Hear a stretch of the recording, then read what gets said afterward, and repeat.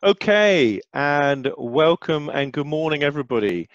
Um, seeing everybody is arriving at day two of the Streetworks conference. Extremely warm welcome to you all. Um, just while the numbers are building up on the participants, um, I just want to touch on the fact we've got two splendid um, sponsors today. Atkins Utility Solutions over my right shoulder and uh, Skube on my left shoulder. Um, good numbers building up. Um, we'll just give it another another 30 seconds or so before we get into the uh, main domestics. Um, I think we've got a really, really thoughtful and insightful uh, day for you today.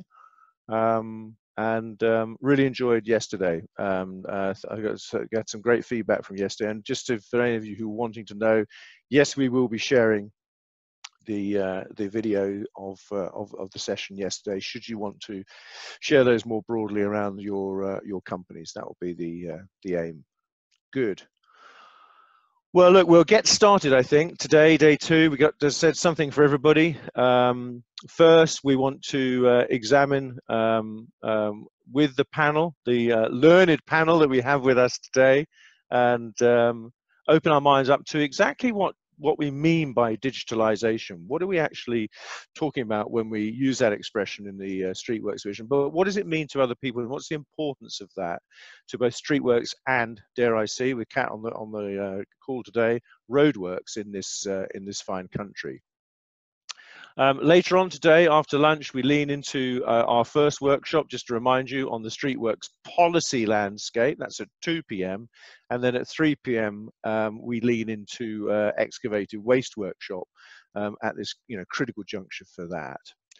But look, um, we're uh, we're getting up towards a full house now. So first, some domestics. I just wanted to point out for those of you who uh, are not who might be new to Zoom, uh, if you look top left-hand corner, we are recording this. So um, uh, uh, if, if you don't want to be recorded, your comments recorded in any particular way, then please uh, sign off now. So far as asking questions is concerned, please do ask questions um, and ask them in the chat tote. Do not use the Q&A buttons, please. Just use the chat tote. That just allows for us for a more free and easy way for others also to see the questions that are being asked and for us to manipulate those. Just as a general point, please don't try and answer the questions in the chat tote okay? Let the panelists answer the questions. Um, by all means give an opinion into answering a question but relatively try and keep the question short. Otherwise it just makes it harder uh, for us to uh, to really address if you ask multiple questions in the same one. Um, but what I'd also say is please do use the chat tote if there are any subjects that we talk about over the course of the day that you'd rather that we um, that, we, that we you, you'd like us to, to cover because we can insert a special if needed later on in the week. After all, responsiveness is the key. I'd also like to touch on the fact there are no JAG colleagues on this year, like there would be at the Streetworks conference last last November. Um, this is very much an internal audience for us to focus on on things and and just with our invited guests that you see uh, on the screen, who I'll introduce um, in a second. As I mentioned to those of you who weren't on before, um, two sponsors supporting us today, Atkins Global and relatively new members, Skube, Skube and we'll be hearing more um, from our colleagues about those things in the next today in the next few days. So as far as today is concerned, it's quite a long session. 90 minutes is allocated for it because this is an important area for us. But what I plan to do is break it into two, and we'll actually have a coffee break at 10 past 10. So um, what we'll do is we'll break the first 35 to 40 minutes into a discussion about the technical aspects. And by that, I mean, you know, digitalization is here. We are shopping, we are recreating, we are transacting, you know, we're doing business online, we're speeding up the process, we're saving time, saving cost, and, and all those green recovery effects are so important to government at the moment, as we'll hear a little bit about, I'm no doubt from Holger shortly. But the other side of the coin of this is the overwhelming provision of the information data that's coming in, and we need some good information management. There's no doubt about that, and uh, and street management may not be the entire answer to the to the prayer on that one. Also, we should be aware, I think, in this sort of technical age, you know, that customers and the traveling traveling public they want instantaneous knowledge where where roads are blocked where the impacts are and and hence the success we should argue of google maps and Waze you know so we need to know how we can bring to the, the roads and the underground world to the general public in from a technical approach really well. But where does remote and robotics and things in in terms of the, te- the technical side of things of, of, of digitalization really work? No dig keyhole solutions and things like that. This is this is this is not a, this is not a subject purely about that, but it's obviously leans into that. So that'll be the main base of the next 35 minutes and then we'll have a break and then we'll come back after the break and want to focus on some of the behavioral aspects and i'll uh, introduce that as we get to it. So let me just introduce the panel uh, to you now. Um, certainly on my screen uh, top left he'll give you a wave uh, Simon Topp from elgin. Simon very warm welcome indeed. Top right on my panel for those who be familiar to many of you who have been involved in the uh, cabinet office programs holger kessler uh, the nuar program I'll say a little bit more about that as we go. And then Kat Quane from the Scottish Government, um, bottom left on my on my screen there. Um, so the the the topics we really want to um, get into, I've sort of sketched over a little bit about how to approach that. Um, and, and, and through the lens perhaps of you know what does digitalization and streetworks really mean for them in their individual areas and studies and, and what forms are already taking place and, and how are they already being used. And then uh, looking at this first of all through the through the tech lens. So um, without without more ado let me turn in the uh, in the first instance to uh, to uh, Holger and um, and let him uh, get us going with a few a few words to start with. Holger over to you Good morning, everyone, um, and thanks, Clive and Streetworks UK as a whole for, for having me on, and um, a great, uh, amongst a great um, set of panelists um, to talk about digitalization. Um, and I'm going to give a, a, couple of minutes background to, to our project and who I am and what we're doing. And yeah, i am already hearing very much the topics um, um, that I would like to, to, to, stress today, which is really, I mean, a, particular the word behavior, behavior and, and collaboration came up in Clive's introduction already. So, yeah, my name is um, Holger Kessler. I'm a, I'm a, technical advisor to the Geospatial Commission inside the Cabinet Office. I'm a geologist um, and geographer by background. I work for the British Geological Survey and have been studying the, the subsurface in terms of its geotechnical and um, groundwater and, and soil properties for the first 20 years of my career, actually creating the, the underground um, um, model, the ground model of the UK um, for all sorts of purposes. But I was seconded to the Cabinet Office when the Geospatial Commission was established, um, which early on identified a lot of opportunities in unlocking the value of of, of location data, in particular in the infrastructure and construction sector. And I started out in 2018 doing landscape review, the industry review, research into the, the, the, feasibility of establishing a underground asset register. So I switched from studying the soil and the geotechnics um, to, to the pipes and cables and infrastructure and ducts um, inside the ground. Um, got in touch with many of you probably on the call and um, the academic sector, and we then kicked off a pilot program called so NUAR, N-U-A-R is the acronym. I've posted a quick um, a brochure in the chat um, for for a year, 2019 to 20 um, to earlier this year. We're now in preparation phase to build out to a regional and eventual national system. So the underground asset register um, pilot have um, we have drawn a lot of learnings, um, in particular about stakeholder engagement, developing trust and collaborations, um, which is all about your behaviors. We did test, of course, the feasibility of the technology, so we can talk a little bit about the learnings there. Easy to use, security, safety, um, um in terms of national critical infrastructure, but also in the back office, a lot about, uh, as we're dealing with sometimes commercial and um, sensitive assets, the, um, the, the, security issues, tracking and auditing, and of course the importance of, of a, a, um, a data model and a standard and, and an interoperability. So we learned some on the technical side, but trust engagement having clear use cases was very helpful for, for the, the success. So we didn't say we're going to solve everything to do with underground assets. We focused on strike avoidance and um, efficiencies surrounding the sharing of, of, um, of, of, plans, um, keeping the technology simple, and yes, safety, security, um, um, working with the CPNI, Center for National Protection of National Infrastructure, the National Cybersecurity Center, um, and not doing um, the legal and security um, aspects as, a, as an add-on at the end of the project, but having people in the commercial, the legal, and the security side involved right all the way through. And yeah, finally, working which sort of links to yourself, Clive, and Streetworks UK, and the HAUC, who are not in the room today, but also to, to Kat um, and Transport Scotland, working in collaboration and not reinventing the wheel, and talking to um, um, friends and colleagues from the Netherlands and Belgium, where we have existing systems, to Scotland, uh, the Vault system, and, and importantly, you and the users on the roads or streets um, to get to, to what where we want to get to together. So that was my intro, and I look forward to the next hour and a half to go into more detail. Thanks very much, Holger. Okay, um, Simon, um, with that sort of broad swathe of stuff, any of the sort of the technical things that you'll be excited to pick up and pick out of that, but also take forward?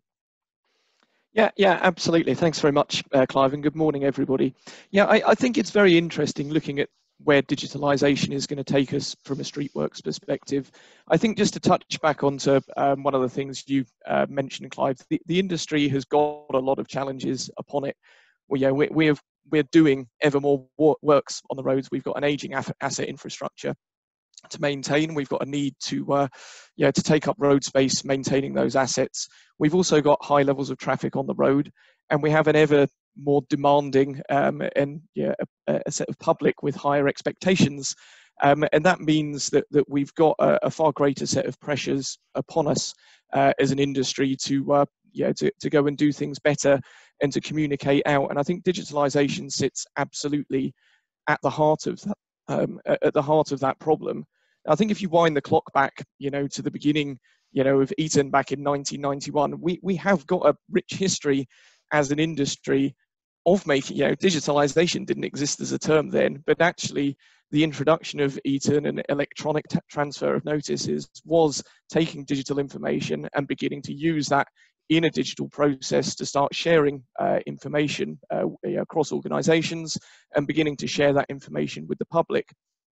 So I think we, have got a rich history, and I think it's evidenced when you go and look internationally. I'm fortunate enough to have spent quite a lot of time in Australia, in the United States.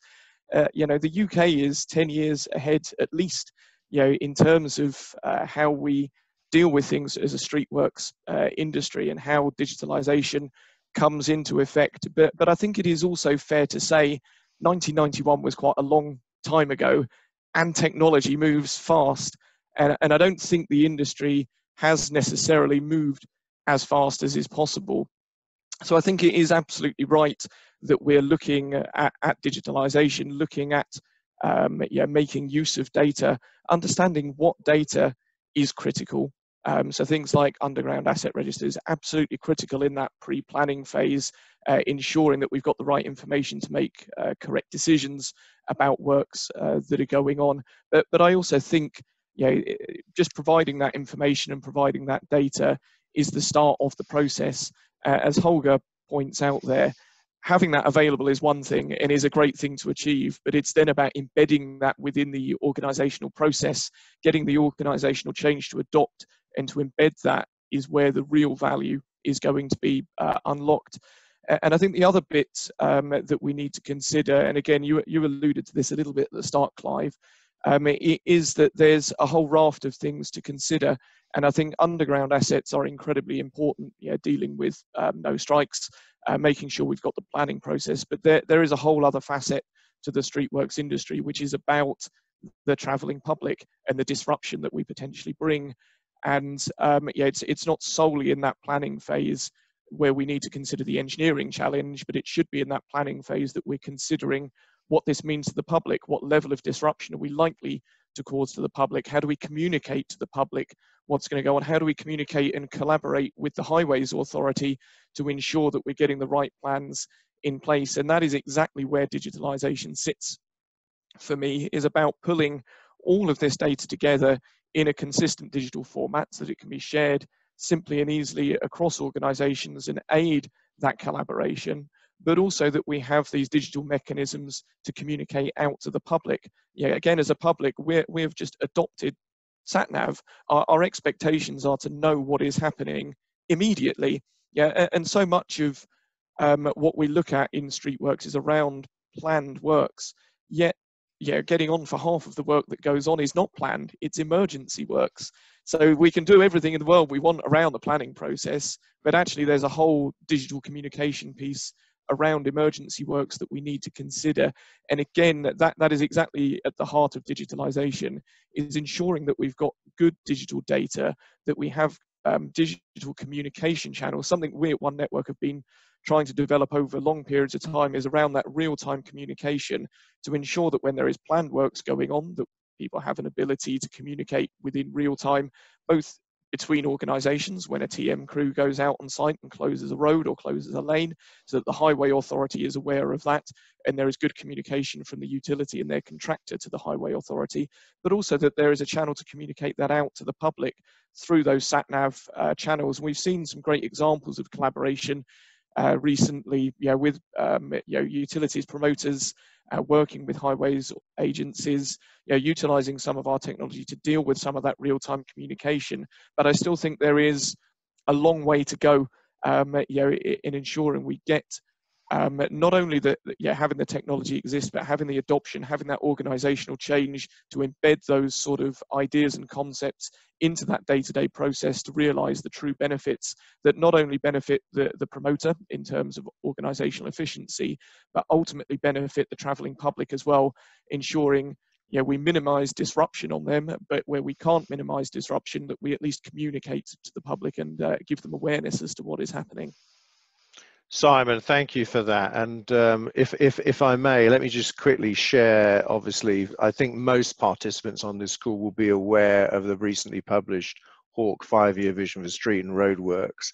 And indeed, within that, the, um, the section that deals directly with digitalization in terms of the importance of what that is, and then sets out these things. But I think what you've drawn out for us very neatly is those sort of what I would call five or six areas of the the technical challenge is in terms of you got to get a register, right? You got to know where stuff is.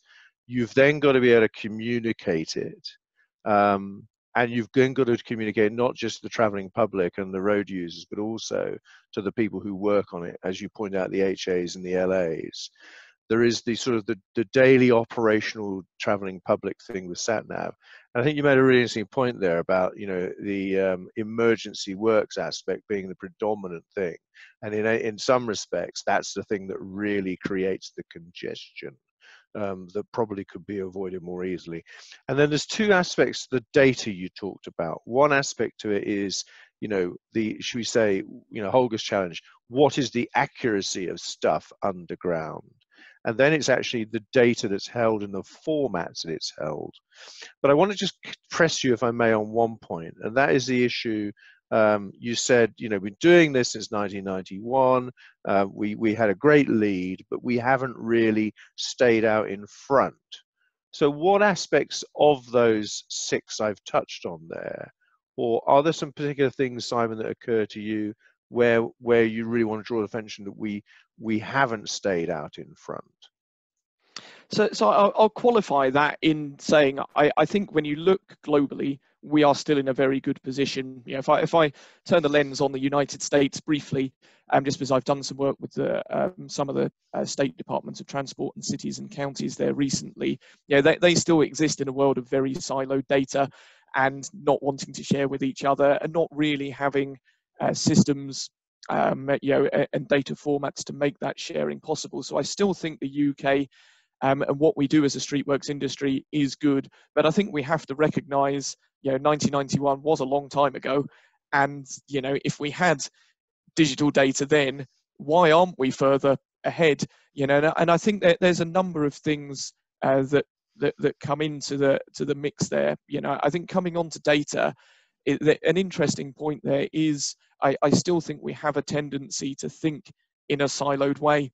You know, we, we engage as a business with lots of uh, works promoters and the contractors, and yeah, inherently this data does exist, and generally in a digital format, or if it's not in a digital format, technology exists to digitize that data in a fairly um, you know, simple fashion.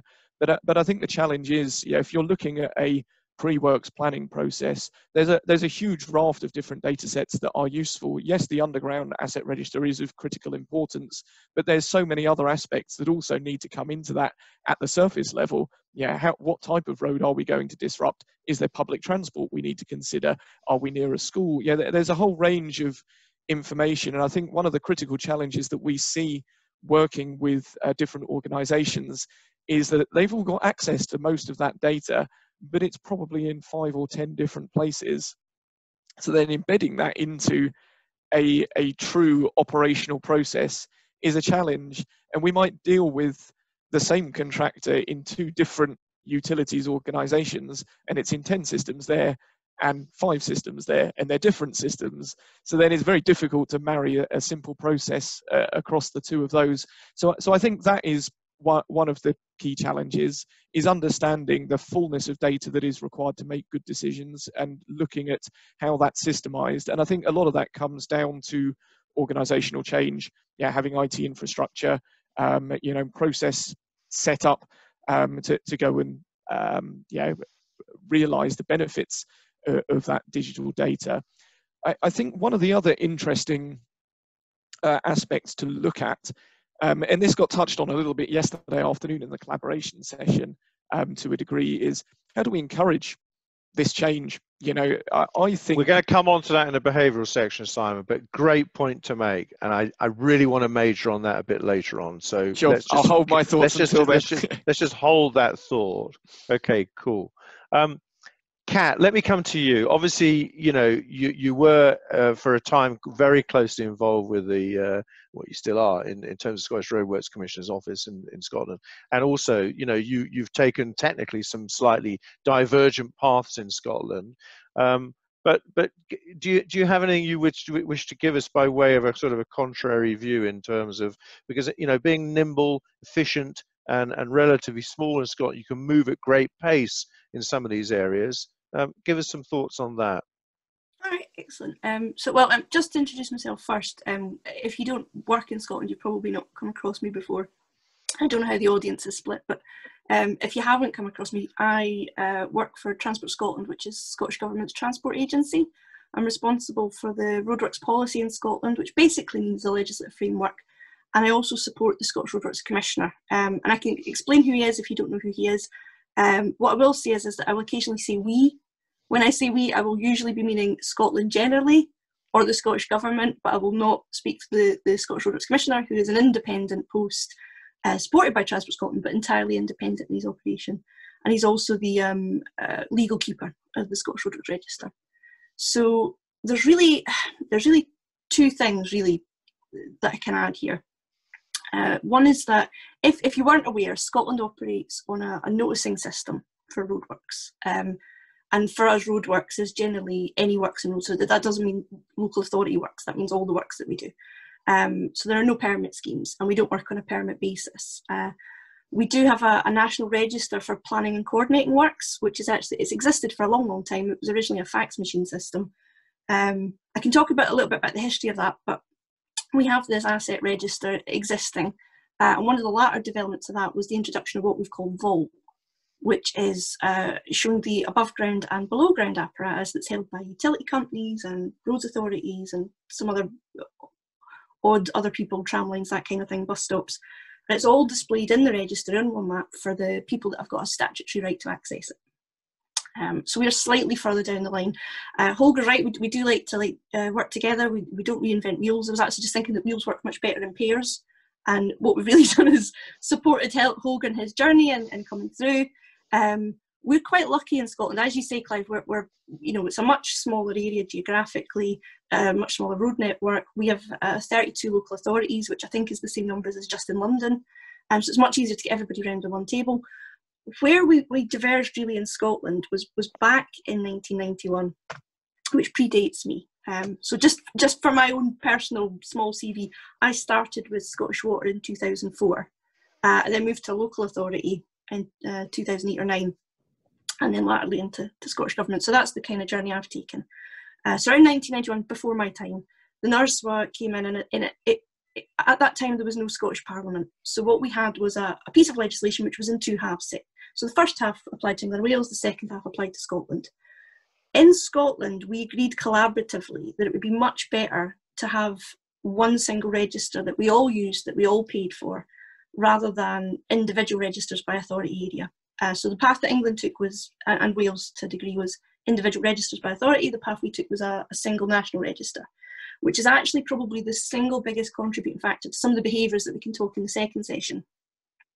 What it means is we established early on a principle of collaboration and sharing. Uh, so the Rocks community is wonderfully collaborative. I mean, it's not that we all sit around campfires singing kumbaya, but we do get on quite well. We tend to resolve disputes at local levels. There's, there's not a huge amount of escalation that goes on. But also the, the, the benefit to that and the benefit to the community is that things like Vault can be developed through a need of the community. So as much as the register itself is kept by the commissioner, and um, you know, I know that the DFT have made great strides recently with Street Manager, uh, which is a sort of attempt at a very similar thing, and, and that's going quite well. Um, the, the commissioner is the legal keeper of the Scottish Roadworks Register, but the idea for Vault did not come from any of the previous commissioners, nor did it come from Scottish Government. It was, it was not a top down idea. It was the community itself that said, we already have this one system where we can talk openly, every, all the data is open, everyone can see what everyone else is doing, everyone can see everyone's works, you know, inspections, the lot's open and it's all there. Why can't we just use this thing that we already have for this other purpose, which is looking at underground and above ground information in one area? Um, and the commissioner at the time, John Goody, was quite happy for the register to be developed in that way. Um, so much so that we, we had, and I think actually it is the, the, we've looked around the world, as far as we know, it is the only system of its kind that's operational. I mean, if you go back through history, the, there's been lots of attempts at doing this kind of thing. The earliest one I found was a 1985, uh, was it Durham Records trial, which uh, I think wasn't successful. I don't know why. If anyone has information on the Durham Records trial, I'd be really interested to see it. But there have been attempts previously for this. The the way that we did it and the way that we brought it in was um, through. I mean, it was it was also um, there was a huge collaboration in, how it was actually set up. So we have to thank uh, Leeds University because it was you know based on their their Vista work and uh, the water industry were quite heavily invested in it. But what it meant was we could end up with this system that was was much more streamlined, and it really arose out of not asking CEOs, not asking very senior managers, but asking directly operational staff, what do you need? And once you capture what do you need, you can then develop it into something that actually works. The other thing, and I, was actually going to focus on Vault, but something that Simon said really uh, triggered this for me is, um, I mean, he's absolutely right. 1991 was a long time ago. A lot of the timescales that were built into that original legislation was based on what's reasonable for a fax machine. You know, if you're up a mountain how quickly can you get that information to someone in a, in a town? And at that time, 24 hours was about reasonable. It was, was one working day. The, one of the other things that we've done, which is uh, it's not apparatus related, but it's noticing related, is we've just passed a new legislation, the, the Transport Scotland Act 2019, that raises a power to amend the time scale that notices have to be updated in. Um, and th- we're looking at a two-hour period. Um, the, you know, the, the regulations and things have still to be set, but we're looking at around a two hour period. There was widespread support, Roads Authority and utility for that. You know, it benefits everyone to know faster. And just like Simon was saying, people have a, have a you know, they have an expectation now that information will be instantaneous. Um, so we, if we can get that time scale smaller, which is what we intend to do, then roadworks will be better planned. And, and especially for emergencies, the, the, numbers aren't quite as high as Scotland for emergencies. They, they sit a bit lower and it's different by sector. But equally, I mean, emergency works, because of their nature as being unplanned, they are very disruptive. Um, you know, they, they, all the lovely planning that goes into all the planned works can just be thrown out the window overnight, and it's, it's no one's fault, it's just what happens.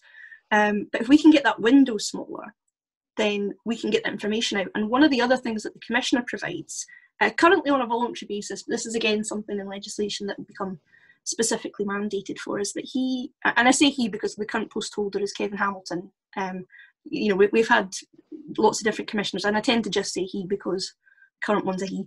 Um, he provides a website publicly which takes a subset of information from the register. So not the not the apparatus information, not the things which are specific or that you would want to keep within the community that you wouldn't want more widespread awareness of, uh, you know, particularly in, in, for things like GDPR and, and, and people's details and you know any comments going back and forth. But the high level information is made publicly available on the Scottish Roadworks Commissioner's website. So where you live, you can look in, zoom in, and see what works are planned for your area. Now, at the moment, that website is only accurate up to 24 hours because that's that's the time scale that's written into legislation, and that's when the notices are updated.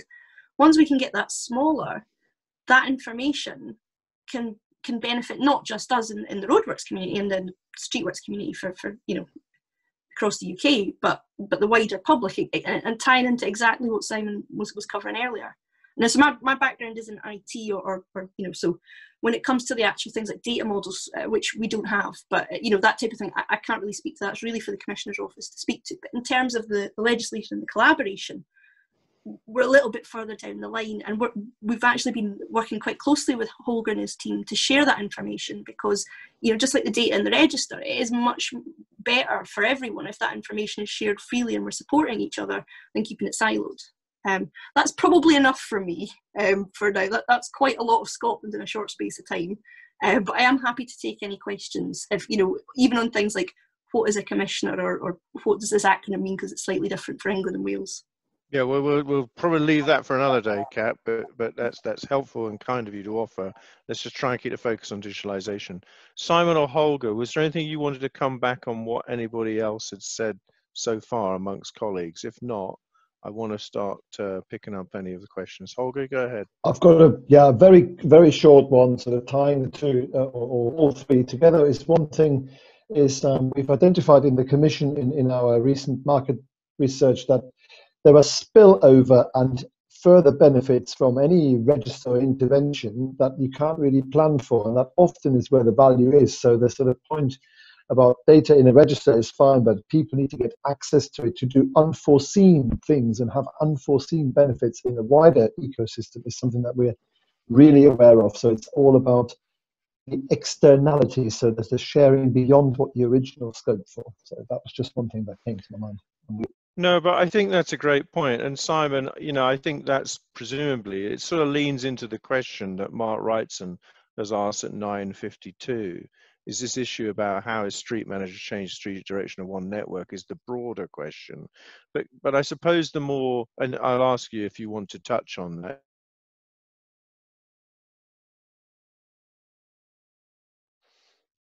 We appear to have uh, lost clive? I, I, assume he was just hand, handing me the uh, the floor to uh, take on uh, that that question uh, around street manager. And i think it's fair to say street manager yeah de definitely does and has uh, has had an impact in some of the strategic direction. I, I think it is quite an interesting. Was we're talking today about digitalization, which when you look at technology and innovation, it's generally seen as a uh, as a private sector led thing. Yeah, I, am sat on a panel here today as the only private sector organisation, yeah, with two government organisations striding with forays into, you know, the digital and innovation space.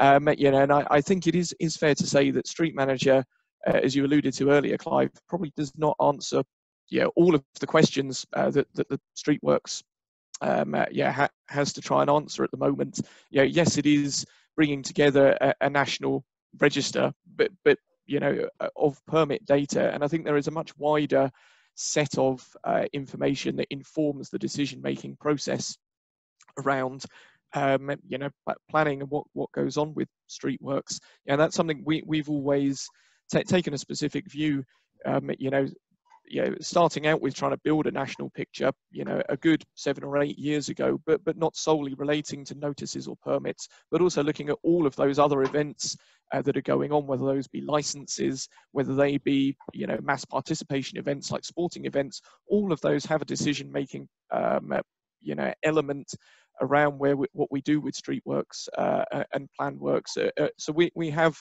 continued our focus to ensure that we have yeah, a complete picture as to what is going on on the road at any one uh, point in time. But, but it has also caused us to think strategically about the direction we take with one network. Um, you know, Street Manager is there and it is you know fulfilling a purpose around permits. So we, we've turned our eye to where where can we add value to that process, and obviously pre-permit.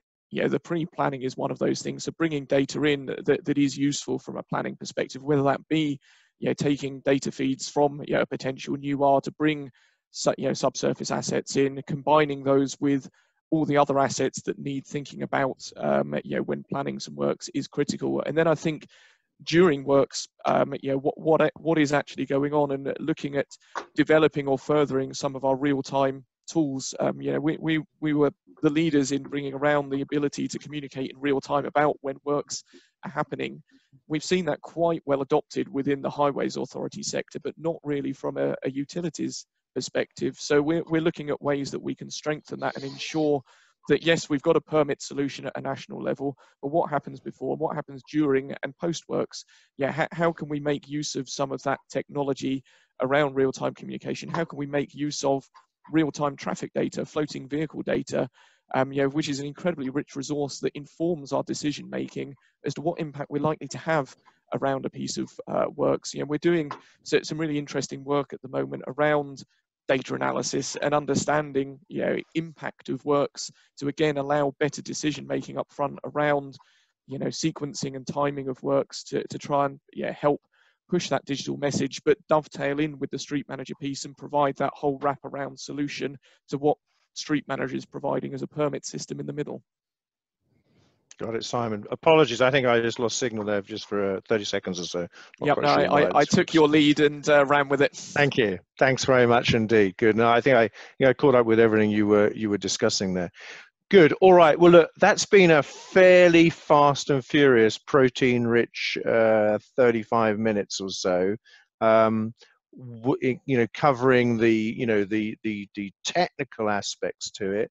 Holger, I just want to understand if you give us a quick uh, a quick you know uh, 45 seconds or so on on what in, in in terms of the technical challenges you faced in data um, understanding, what, what, what worry beads do you still have on the data technical side? In 45 seconds, the data audits we've done with the 45 um, stakeholders who participated in the two pilot areas were actually very positive. We have even um, got two um, local authorities who are able to stand up um, APIs and web services for their street furniture.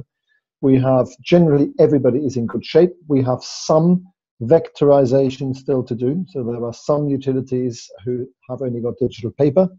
We have a data model that everybody and symbology that everybody has agreed to. This is an all open geospatial consortium candidate model called MUDDI.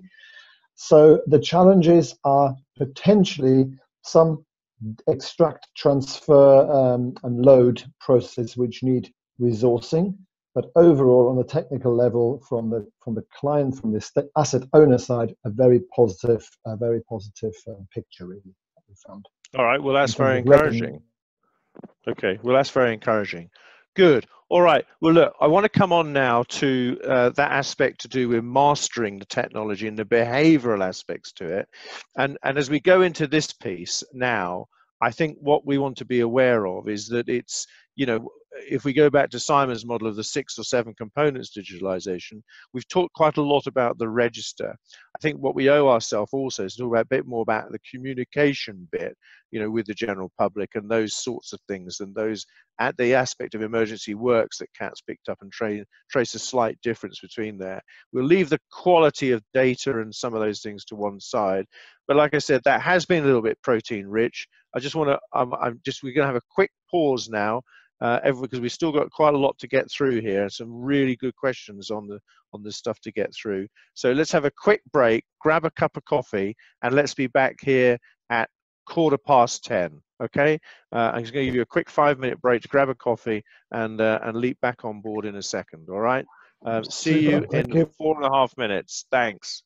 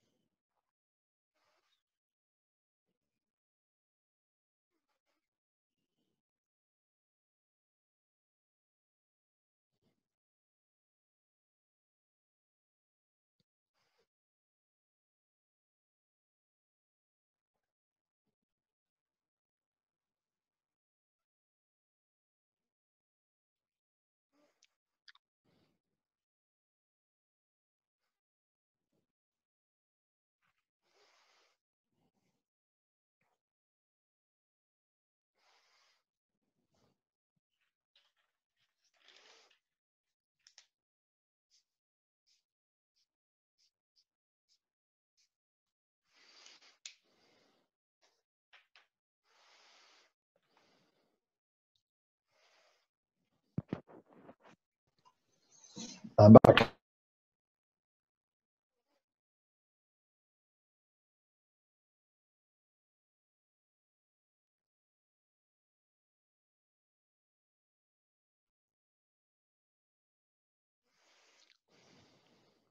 Okay, good. Welcome back, Holger.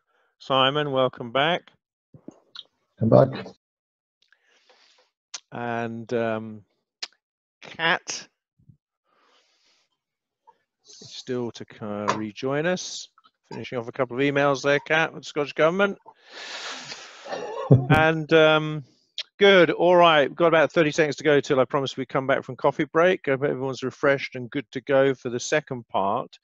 Um, as we move into this second part, uh, looking at the behavioural stuff, one thing I think we'll kick off with, Tim, why don't you come on screen now? Tim over from Atkins. Tim, I'm not quite seeing you yet. Good morning. I'm I'm here. Good morning, everyone. Morning, Clive. Come on screen. Turn your camera on, Tim. That'd be great. Here we go. Lovely, lovely job. Good. Tim, I, what I thought I'd do is turn the floor over to you and give us uh, actually something that syncs pretty well with our discussion here, and uh, and tell us what Atkins Global are up to, Atkins Utility Services are up to at the moment. So um, I think you've got a quick video to show. If you'd like to blast off into that first, and turn it over to you, the Key Account Manager for Atkins Utility Solutions. Go ahead. Sure, let's go ahead. So Joe, if you just press play and uh... identifying underground utilities is an essential part of any design, planning, or construction project. Considering what's underground allows you to make informed decisions during the feasibility and planning phase and helps you avoid utility strikes during the construction phase. But finding plans for underground assets is surprisingly difficult. This is why we offer our Intelligent Utility Search Reports. To get started, just draw your site boundary using the simple tools on our website. Once you've selected the services you would like, we will go ahead and obtain plans from all known utility owners in the area. This is important, and we know that many searches carried out by other providers are not always comprehensive. When complete, we will deliver information back to you in a report, allowing you to quickly see what utilities we have found. We can also deliver this digitally as a utility search map in geospatial formats, such as shapefile, an AutoCAD DWG, or a KML file for Google Earth. Our maps include feature attribution. This means you can easily understand more information about the utility assets and quickly assess any risks that might be present. We know that managing utilities is a complex and time consuming process, so we have a team of consultants that can help you plan the next steps. Utility strikes are dangerous and costly. Our searches are designed to improve safety, save time, and reduce unnecessary spending. Utility Solutions. Discover more.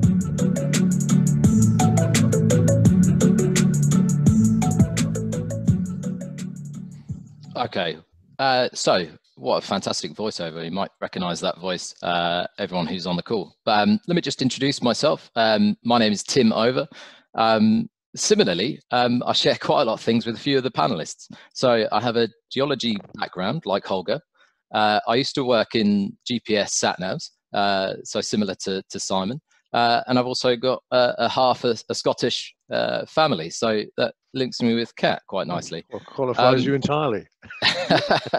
so, um, so th that's that's perfect. Um, I, have been working with Atkins now for for five years or so, into my sixth year actually next month. So, um, uh, I, am very well placed uh, and know the sort of industry that um, we're currently dealing with. Um, and to talk about digitalization and where we are at the moment. I've got a few slides that I can share um, as well. So I'll just go ahead and, and share my screen if I may. Um, I've only got five minutes or so, so it won't be um, too taxing, I promise. Um, so if I just go ahead and just share my uh, share my screen just now, you'll see everybody else, but here we go. That looks good. There you go. So um, what what Atkins are doing at the moment um, is to uh, provide uh, utility information um, in as best best way, shape, or form um, we can. And we deal with many of the large infrastructure projects in the UK. Um, we operate a search service that um, you know grows across England, England, Wales, Scotland, Northern Ireland. Uh, what I want to talk about today is the current situation that Simon, Holger, Kat have, have spoken about. Clive, you introduced it at the top. Um, utility data. There are some utilities that provide very useful data. Um, some utilities provide data in unusable formats or unfriendly formats, let's say. And uh, as Holger correctly uh, says, there's a huge demand to get this information um, in a usable manner, but also to have it in one central place. Um, we like to think we've uh, we've got something. So if I just um, continue my uh, my slides along, we have invested in in innovation and and digitalize it or digitizing, I should say, um, some particular aspects of uh, receiving utility plans. Um, we've invested in technology, hopefully making it a simple process for users to actually access utility data. We've looked at in various formats um, where we can actually deliver uh, information, AutoCAD, shapefile. Uh, I've mentioned Google Earth there. Um, recently, where we've had to mobilize uh, and work remotely, you know, vast uh, desktop computers, not necessarily in place at everybody's homes. And, uh, you know, a laptop is, is capable of producing uh, some G GIS software uh, and running okay. But actually, if um, we're trying to show people where utilities are, actually our new KML slash, uh, slash street view view of utilities has been especially useful in these challenging times. And we also provide the PDF information. Um, it's important to rely on that information as a, as a source so you can see where that uh, all comes from. Finally, we've, uh, uh we've got a, an online search platform uh, and we've invested in something we call a disbursement engine that works out where you are in the country, what utilities are actually uh, located in that particular area, uh, and also how much they're going to charge for some of their plans. We also have uh, an image georeferencing uh, automation service, and this all involves uh, obtaining utility information and putting in a geospatial format as quickly as possible. Um, and we've got a range of turnaround times, uh, and these all lead to savings um, that are in effect passed on to the client. In the future, well, we'll, we'll see quite a lot of change, I imagine. Um, considering where we were sort of 20 years ago starting up this service, um, it is a really fast-paced industry. Um, we see the rise of technology and we want to be at the forefront of that. So we see 3D CAD deliverables, uh, especially where more utilities are actually providing more uh, attribution information, depths, for example. Uh, and we're really interested in the augmented reality space. Um, we're very aware of uh, innovation in, in other technology streams that we're uh, very keen to support. We also have to abide by best practice. Um, PAS 128, as many of you will know, um, is uh, best practice uh, specification for uh, making sure that users actually search the correct utilities uh, in the right area and obtain full comprehensive reports. Um, what we find in practice is uh, quite often some people may only request some plans from specific utilities, and that leads to potential uh, hazards in the future, uh, line strikes, um, damage, uh, etc., um, or even fatalities and injury. So we're very keen to avoid that, and from a safety point of view, that has to be at the forefront of everything that we provide. I'll just give you a bit of uh, uh, a slide on accessibility as well. Clive, I know you mentioned that um, uh, in your in your briefing. Um, and really, what good is data unless you've got a way to access it?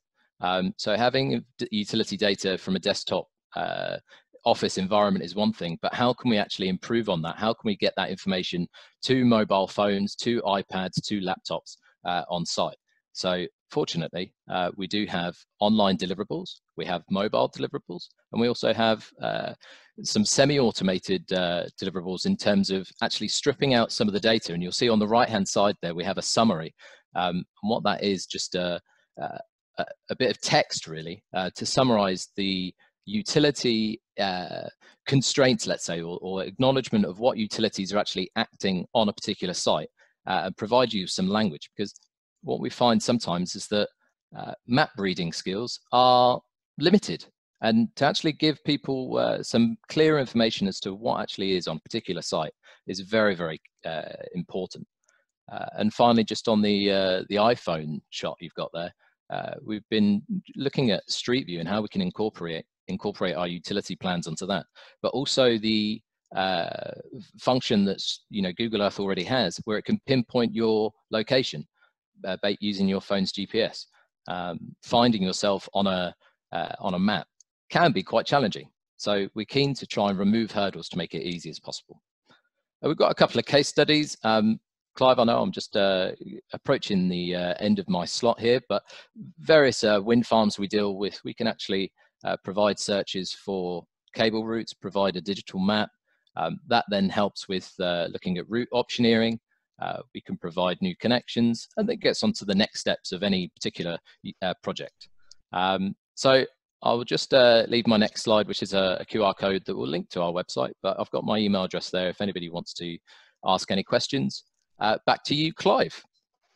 Well, that's superb, Tim. Thanks very much, and syncs very well in terms of rounding off that, uh, uh, should we say, our technical understanding of what the opportunities are. Let's go ahead and cancel screen sharing there if you can, Tim. That'd yeah. be great. Thank you. And you um, we'll get back in, uh, not yet cancelled screen sharing. There we go. There okay, go. good. All right. Well, that's really helpful. Uh, Simon, there may be some thoughts in there for you that you want to come back to later on and, and, and touch on uh, uh, a critique of Atkins utility. But what a what a comprehensive offering, Tim. That sounds really good. All right. Look, I said, I promise now, in this final 35 minutes, we're right on a timeline. We come back to discuss the behavioral side of things. And specifically, I think it's this aspect to do with those six or seven things we talked about that Simon put on the table. It comes under mastering the technology, uh, and some of that is contained in what Tim just discussed, of course. Um, .kml is a new one on me, I have to confess. I'm going to uh, blather that around everywhere I go from here on in. But a lot of this is about the behavioral side of how do we deliver the works efficiently, how do we do it effectively, how do we in, you know increase the speed of traffic where it's needed to and reduce that congestion uh, and actually reduce the admin burden on the utilities the contractors and indeed the local authorities i think there's something here which holger talked about which was using the transparency you know is, is actually an extension of open government um, you know, and, and, the open society of data and information we have here. What, what I do think behaviorally, it's about seizing the opportunity and thinking about how we train people for this digital aspect and then communicate in a totally digital way. So many of you will hear me talk about how you know it's it's not really uh, the people of today aren't picking their information up from newspapers, radio, stuff like that. It's all from their handheld. If you're aged between 25 and 35, you pick your information up from a very different source. And this demographic of people, of course, is moving through uh, you know life, and and uh, you know in due course that will have changed the way that we pick up our information. And Tim actually talked in in, in part about that. I'm going to quick tell you a very, very quick story. You know, training accreditation, for example. We just had a meeting on training accreditation the other day to find that, you know, some people will not do the training accreditation modules for Streetworks um, on a computer-based system, they will only go and do it in paper.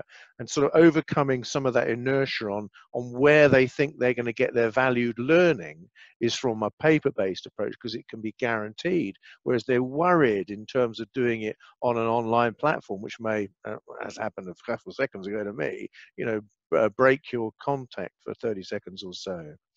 But um, let me uh, pause there and turn it over to the panel now. Uh, Holger, uh, this is not an area for you to major on the behavioural side of things. Arguably, we have been discussing separately that. But but in terms of how you translate this NUAR program into something that really, you know, goes out and flows out, what what are the sort of precepts you put on the ground in terms of of of, of, of getting through to people on this? Can you share that with us? Yeah, gr- great. So um, breaking down. Um, uh, we've had a couple of, I've made a couple of notes here from picking up from, from earlier. Um, um, public sector, private sector boundaries um, um and working across them. Um, and how we've done this is um, to not have, like Kat mentioned, also like some sort of top-down Westminster-driven approach, but working with the communities. And we really mean that and did that by in the northeast and in London. We had local authority led, um, private sector led. We have worked with, with Streetworks UK, with the HAUCs, with GeoPlace, and really, yeah, constant local engagement and listening and feeding back. And we are planning in the regional national rollout to maintain a very hands-on um, local engagement with with the people um, um, using using the system. And absolutely, just wanted to reiterate that point. I think the breaking down of the, the, the old perception that here's the public sector and here's the private sector and we do things differently. Really, in NUAR, what I sort of mentioned earlier, the, the sharing a common have, sharing the common problem, the, the common use case, and and and the data, the digitalization in public and private sector, leading to a common data model, and therefore being able to put things onto one map, is really working for us. That people can see themselves in the same space.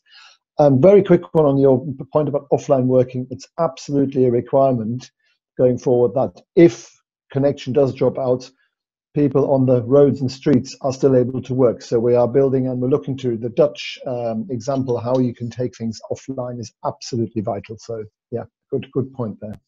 Okay. I'm, uh, Simon, I'm going to come to you last, if I may, and go go really to um, through through through through Kat's experiences and, and observations on on on you know what that might mean and, and what that impact that might have. Kat, over to you. Sorry, there we go. Um, yeah, so one of the things actually I was I was going to mention is, um, and and Simon kind of picked on this again about the register, and I keep talking about the register because really for Scotland, although we're talking about digitisation globally, and actually, a uh, small plug, the Scottish Government are currently consulting on our digital strategy, which is available on the website. So if anybody wants to have a view into that, and that's that's broadly across all data, you know, that's there. Um, I would have circulated the link if I'd thought to bring it with me. But um, you know, we, the reason we talk about the register and the, the public facing website which feeds from that is because the benefit in Scotland is really to having everything in one place. So as well as the sort of noticing side and that, you know, actual requesting of, of, of road space, the register has been developed incrementally over time.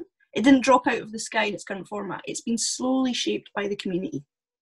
Some of the things that, that people that use the register already have access to are things like uh, parades, um, street fairs, uh, Christmas embargoes, road races, all of that information about things which are on roads that are not necessarily roadworks is, is, there. And the reason why it's there is is not you know it's no benefit it's locked in a local authority filing cabinet and only the local authority knows about it. The people that really need to know about it are the people that are planning works. So you know rather than having a system whereby can i work this week? No. Can i work this week? No. Can i work this week? No. All the information is there and open so that if you are planning works you can see well there is a you know there's a christmas fair on that day and there's something else on the next day. And, and that information's there and, and that's shared. Uh, and that is also part of the information that you know because you, you know we do have the open uh, data commitment and all those things has, has to be shared. So you know all of that information is there and it's usable. Um, and, and some of the things that the commissioner's office done to make that more usable for the community is uh, they put forward a range of apps um, so generally for the use of the system, there's an inspection app, but really the two main ones in, in the sort of digitization arena are the the starts and stops app. And I don't actually know if that's what it's called. Um, I'll need to ask them what it's actually called, but it's the one where you can start and stop works from site. Um, and that's actually it's been developed because we knew that legislatively we were going to go to a shorter period, but also it's just convenient that rather than having to do a sort of archaic process of phoning a back office for someone to press a button, why not just bring the button to site? Um, and then the other one is the Vault app, which has, has got a huge benefit. You know, it's, it's mobile, it's available on tablet. If you're out, it, it works in the middle of the night. It's better than nothing. It's better than, than having no plans at all. Uh, I mean, I'm, I'm old enough that I, you know, my experience on site is holding sort of 13 pieces of soggy paper and trying to match things up, and actually having everything on one device is is much easier. But you're right. I mean, we've got this cultural issue with with sort of road workers generally that paper is how it's always been and paper is what I want and paper is what I know. Um, you know, something that's it's perhaps going more into training is the fact that you know the training we have doesn't focus a lot on here is how you interpret these 13 pieces of paper. You know, it's expected, you know, like like Holger was saying about map reading skills. I think it's Holger. Um, the people that work on site will generally pass information on through peer learning. This is a water plan, this is how it looks, this is a a BT plan, this is how it looks. If you actually want to look for some place where all of that information is captured, you know, there is nothing nationally at the moment that does that. A lot of it is in house. Um, and once we move to things being available and online, and you know, as I, I did say, we don't have a data model. That that really means that information can come into the, the commissioner's supplier in any format and then be put together in a way that, that's consistent. So it's not that when you look on the map, everything's in 15 different types of symbology. Um, it's just that the people submitting it don't have to do that pre-work at the moment. But once we have that, that cultural shift away from I can only do it by paper will be natural. And, and I mean, just anecdotally, one of the things that I've said is um, a lot of the people that say they can't work off tablets will be quite happily playing Candy Crush in their breaks. So, you know, it's not that we're dealing with people from the 1900s that have never seen a computer. It's it's something that actually is within our grasp to do. Um, and I'll just, I'll very quickly just throw out one real world example because it's just come to me. It's actually quite a good uh, use case example that's not strike or pre-planning or any of the other things that we think. Over the period of COVID, as you'll be aware, we went to an almost near shutdown in Scotland of construction and roadworks. And what we were able to do was take some work that SGN had done. So SGN had done some really good work, contacting material suppliers, seeing who was open, seeing what they were providing, and sharing that. Because the basis of the Scottish Roadworks community is that we share information to each other's benefit. So SGN did not sit on that supplier information just for their own needs. It was shared openly with the, with the community. What that allowed us to do from a resilience perspective and a, a Scottish Government resilience perspective was match that to the open data from the register of where works were. Now, we had to make a number of assumptions because there were probably some sites that were in the register live but actually had been, you know, it, it was a time when there was a lot of things shut down at short notice. So I wouldn't say it was 100% accurate, but we were able to map graphically on a, on a map of Scotland here is supply, here is demand, and that allowed us to identify our not spots. Um, and it was actually really useful work. It allowed us to intervene rather than sort of mail shotting every quarry in Scotland. It allowed us to really target our approach. Um, and just having that information there and available and on a basis that it's already being shared allowed us to do that work, which was really something that was key to getting through that sort of main lockdown period. Um, and that's not that's not a use case that I would have ever predicted for that information, but having it there and having it in one place meant that we could do that and, and do that at short notice. Uh, that's really interesting. Thank you for that. Now you've you've you've laid out a couple of interesting things there. Um, you know, one of which is I think is vital is this aspect about uh, being shaped by the community, and um, in a certain sense, that's what I meant by the sort of open government to open data to an open system, and uh, and I'd be very interested to hear what Simon thinks about that that open style. On the app side of things, of course, as you know, we've been working on developing a HAUC app, um, uh, you know, for people to use. And it's turned out to be actually really good in terms of what that will offer people, and is a first sort of step in. In, uh, but we need to see what sort of penetration into the workforce that that usage of that gets, and we'll know more about that in a further six months. I think the other thing we shouldn't lose sight of when you touch on some of those things is this aspect to do with um, uh, you know, when you've got large PLC companies with their company work systems, you can't. You've got to develop systems that that work, you know, API wise with their work systems uh, in many cases, and that you won't have standalone. So it's the transferability of data and the digitalization of data that, that becomes absolutely critical. But um, Simon, let me turn it over to you now, really, in terms of focusing on this behavioural stuff. And are there any particular threads here? I mean, obviously, the utility of your platform you can speak to, but um, uh, and, and please do. But we're talking about more the general uh, sense of, of, of, concepts of, of behavior here rather than perhaps just the detail of, of, of, how you solutionize things. But but please, free reign. No, I, I, absolutely. Thanks for that, Clive. And yeah, I, I alluded to it a little bit earlier, but but I think yeah, organizational change is one of the critical aspects here. You know, it's all good and well to uh, develop, build, buy a software solution. You know, you know th- those things exist out there, and anybody can go out and buy a solution tomorrow. Um, the reality is, though, that that doesn't solve any challenges. It's just a new piece of software, a new database, a new data schema.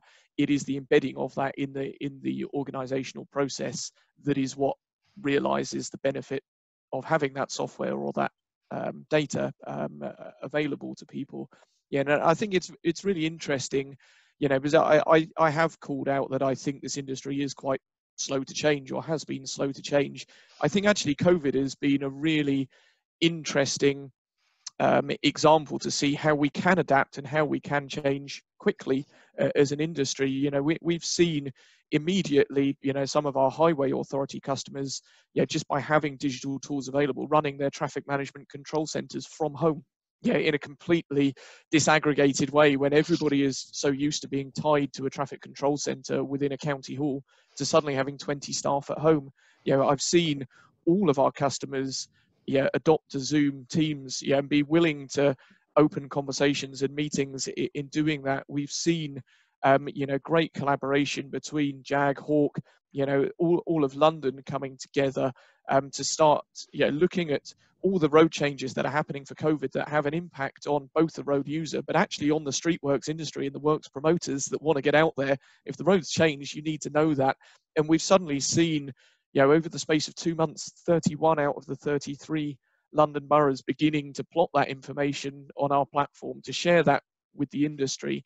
Um, you know, so it shows that we can change. Yeah, and we've also got other big programs like this whole, um, you know, fiber rollout at the moment. That again, we're seeing um, you know, with the likes of OpenReach working with Sheffield, looking at this um, whole flexi permit opportunity. Yeah, it's been great uh, to be part of that and to sit in meetings and see openness and collaboration between those organizations. Yeah, looking at what is quite a challenging and different change, but met with such positivity and openness to trying to move the industry forwards. And it strikes me that we are kind of in a perfect storm at the moment with all of these things happening to really latch onto those and to drive um, yeah, the, that behavioral change. And I think that the question for me is how do we create that incentive within the industry as a whole to not just rely on these specific instances like COVID to suddenly make change happen, but how do we drive this change, you know, on a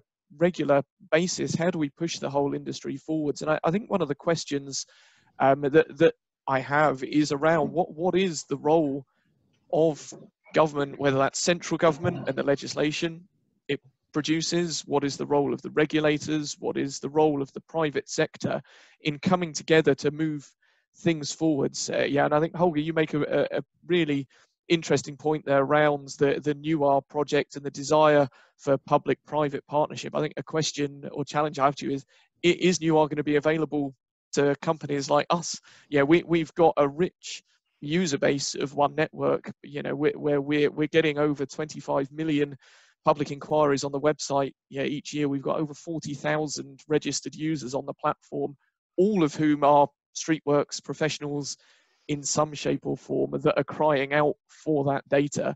Um, so I, I'm really intrigued to know whether you know NUAR will be something that is available to organizations like us that we can then use to communicate that information to that wide audience which would be a perfect yeah example of that public um, you know public private relationship and for me that kind of lies at the heart of how we engender um, and drive through change. You know, and there, was lots of interesting conversation yesterday um, uh, in that collaboration session, uh, Clive, around how do we create incentive, and yeah, still lots of yeah, umming and ahhing around liabilities and who who actually takes liability and sharing. I think we need to try and remove that mindset, but actually that is where it comes back to my point of what is the role of legislation, of regulators, of um, you know the, the local authorities, of the private sector to all How come together in the right way and drive that on.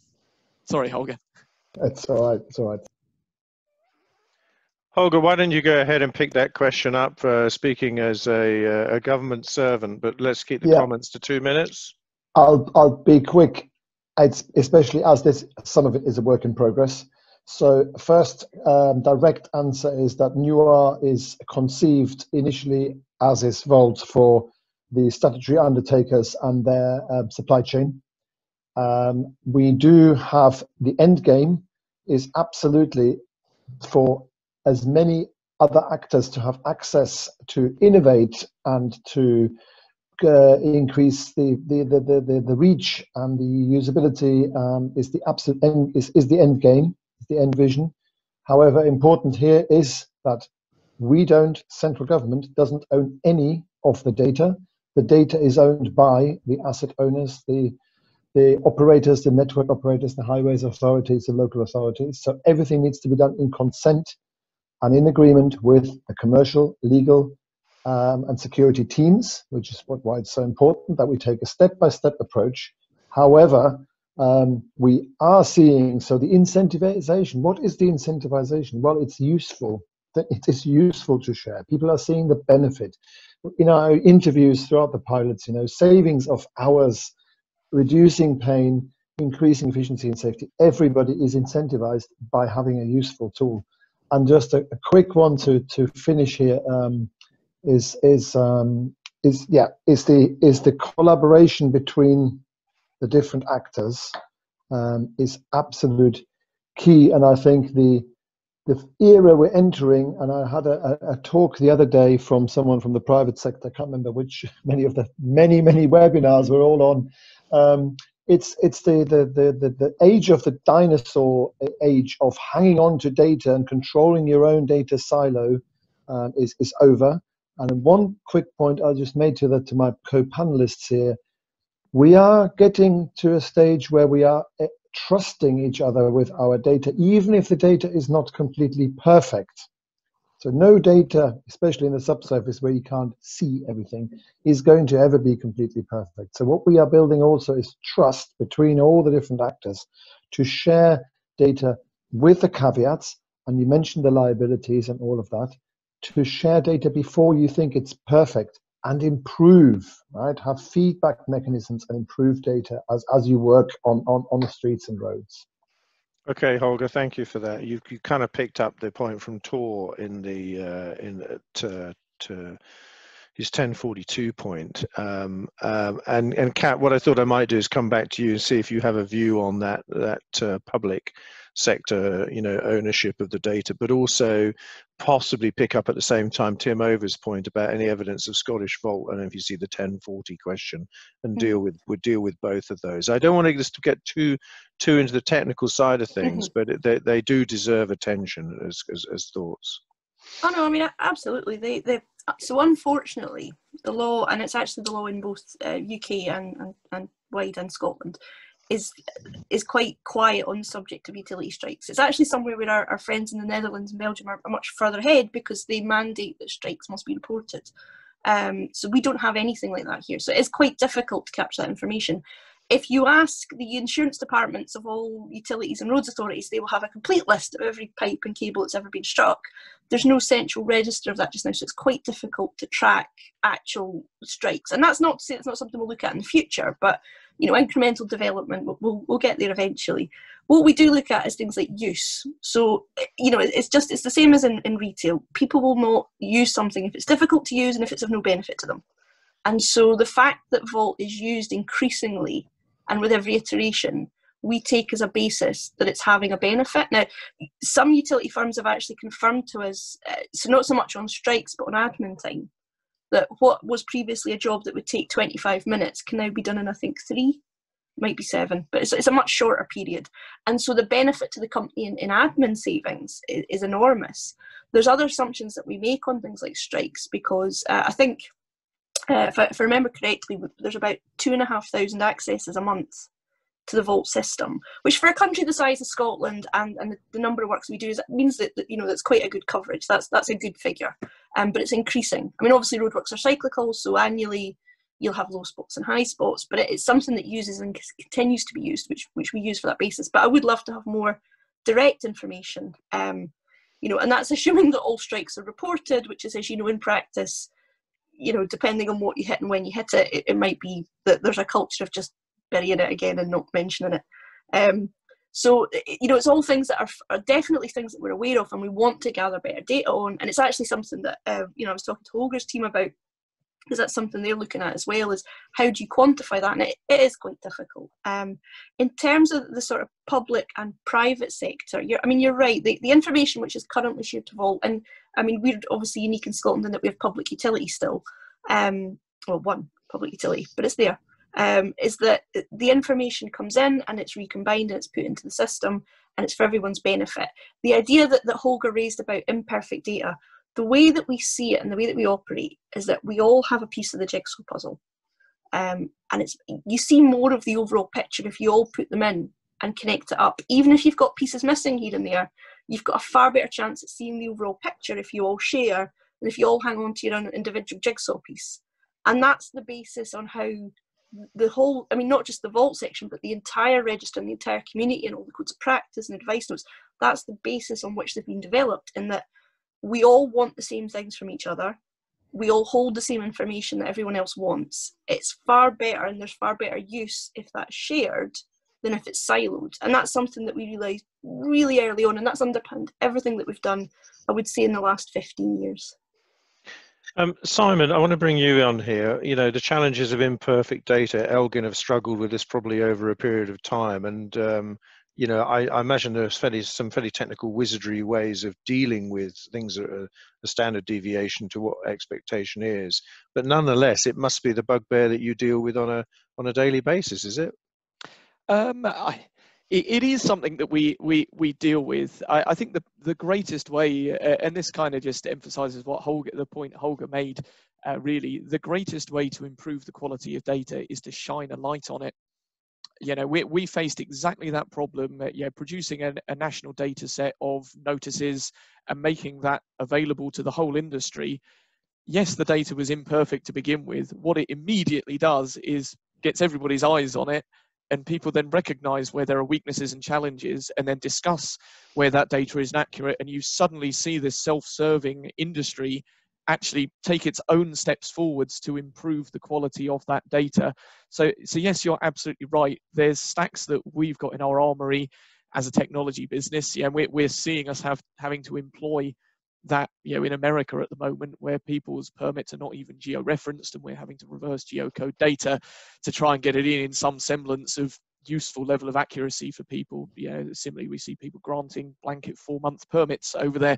You know, so there's all sorts of challenges, as I alluded to, is 10 years ago, um, UK and the US. Um, but we, we have seen a dramatic improvement in the quality of data, you know, around road permits, um, yeah, over the last 10 years that we, we've been in existence purely by getting that data together in a single place, making it available to lots and lots of people, making it publicly available. And that helps the industry make its own strides uh, in improving. And I think that that is exactly the same for um, subsurface assets. Absolutely, that data won't be perfectly accurate. Yes, there are some great technologies out there to help improve that, but let's not that let that get in the way of doing something with it. Let's get it all together, put it somewhere, and then we can figure out where the weaknesses are as an industry and move it forwards. Uh, and that really is, yeah, I think what we have to do. Um, yeah, uh, we we've absolutely seen that in the gathering of our data. Yeah, over many years. Yeah, we we it isn't so much of an issue for us anymore, simply because the industry has figured out it needs to be done well and accurately. Okay, good. Um, Perhaps I could just, because uh, uh, I will come on, I want to talk a little bit about some of the survey work we have done um, to find out some of the accuracy of that data and, uh, should say, different perceptions between contractors and utilities of that. But Kat, if we're talking about, if we just focus for a second on this sort of communication uh, aspect with the with the road users community, and then I'll revert, come back to Simon finally to shine a, a, a, perhaps illuminate, you know, the far horizon of what you might conceptually have in mind as a as an exemplar company of doing that. What what do you think the general public and and and your um, you know the elected uh, representatives what are they what are they trying to deliver for the general public in this area kat from a from a scottish government perspective yeah, well, we, we actually just recently published our programme for government for the year, which is, I mean, it has lots of very high overarching themes, which, you know, obviously, you, you know, you, you can't be too specific with those types of things. But uh, one of the things is the, now it seems strange, it seems like strange bedfellows, but actually there's a climate change um, connection here because not only do you have things like, um, you know like greener spaces and, and having you know better planned works tend to be done better they tend to be better quality so you have fewer return visits um, having the information centrally you can do sort of lots of, you know pre-planning and making sure that things are or there's intervention before things actually fail. But even things like um, so infrastructure resilience. So if you look at things like the increase of things like flash floods and lightning strikes, having a register of all of these things that are affected by that allows you a platform to then build in resilience for the future.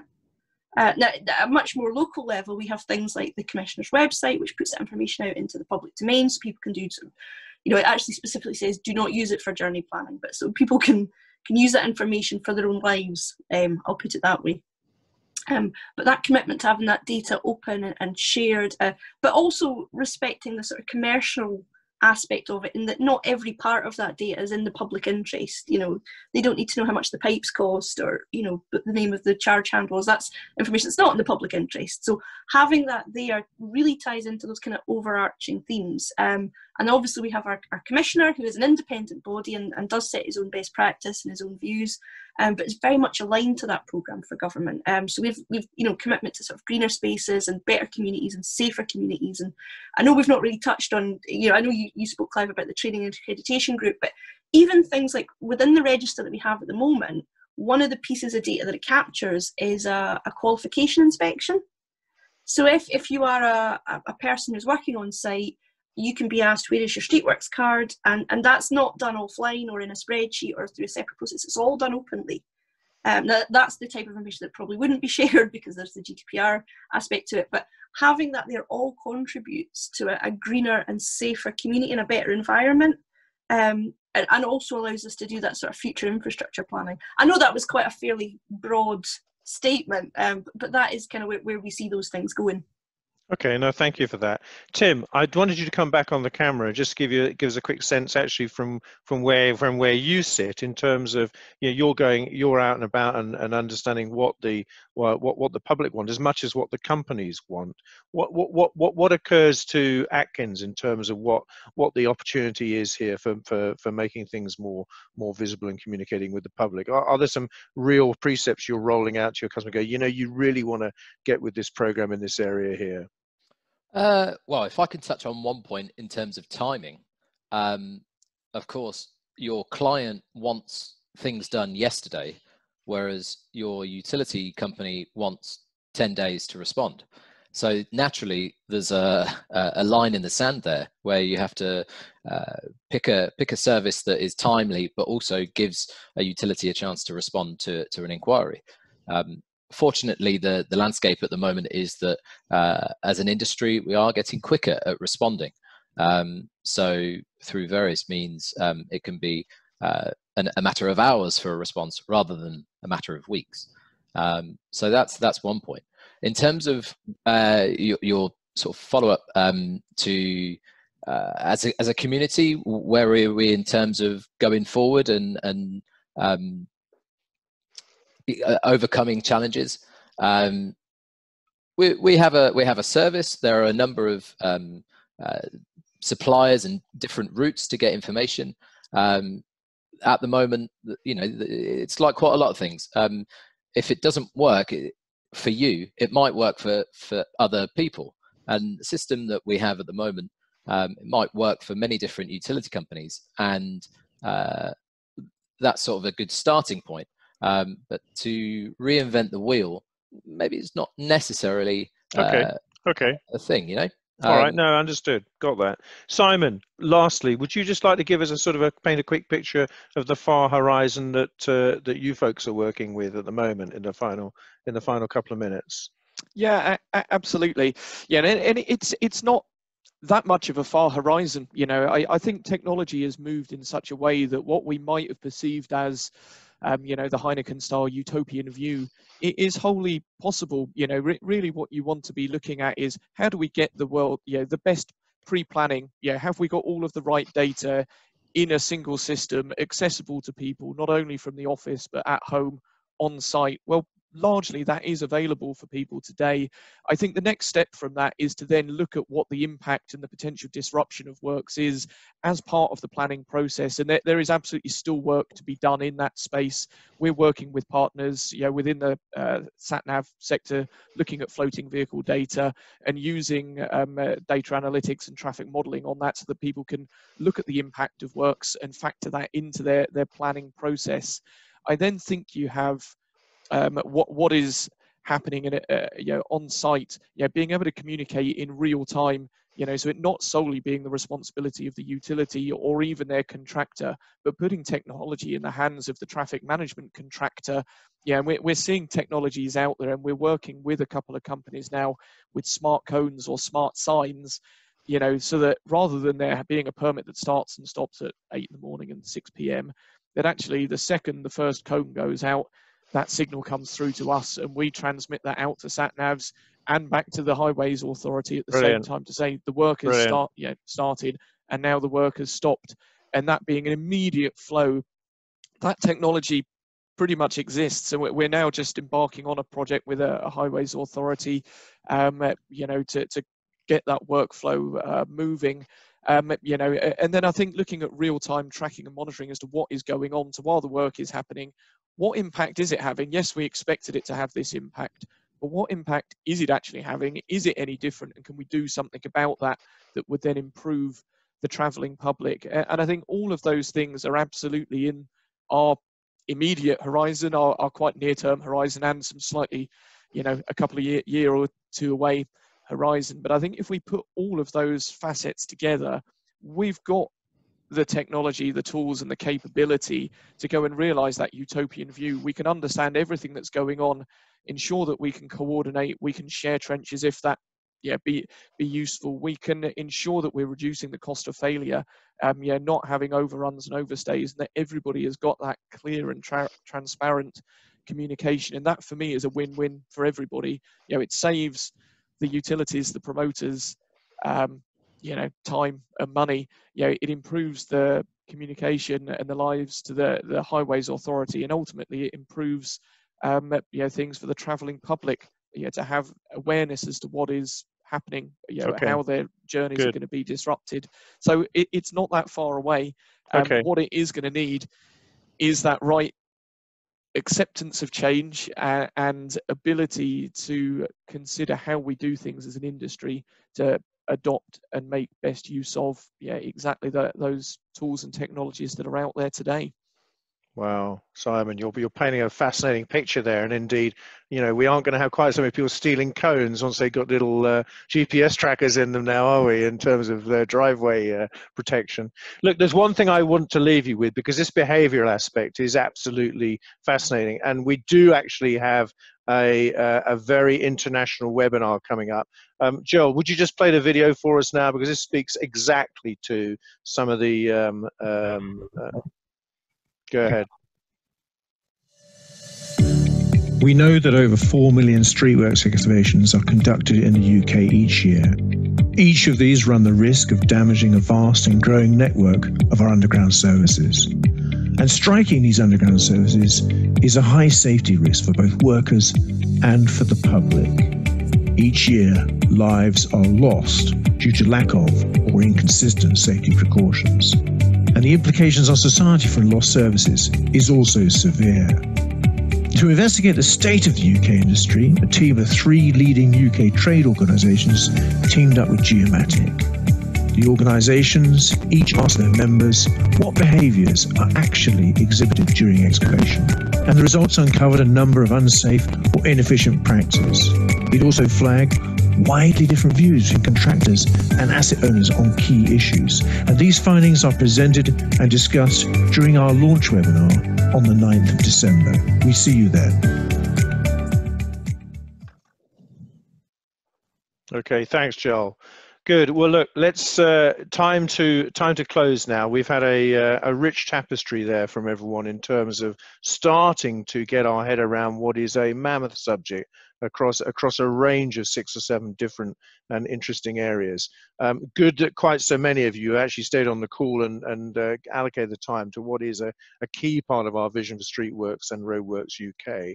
Uh, but let me just say thank you uh, very much to Holger, uh, for giving the NUAR perspective, um, to Simon uh, for clearly stating how Elgin is facing up to those challenges, and Kat giving us, should we say, a converse view in terms of the lessons that have already been learnt and sometimes uh, learnt in micro ahead of us in, uh, in, in England by, by Scotland. So thank you for sparing the time and giving us such clear thoughts and thinking in that area. Lastly, Tim, uh, what a great sync with your work in terms of Atkins Solutions. Thank you for that. Um, uh, merely remains for me to say uh, we'll, we'll close the session now. Um, we'll, we'll reconvene at two o'clock um, this afternoon uh, and look forward to seeing you there. Uh, an absolutely vital piece at two o'clock this afternoon, tracing the policy landscape changes that we expect. Look forward to seeing you then. Thanks very much indeed, and good morning. Cheerio for now. Thank you. Bye bye. Thank you, Clive. Thanks, folks. Thanks, Thank Clive. you.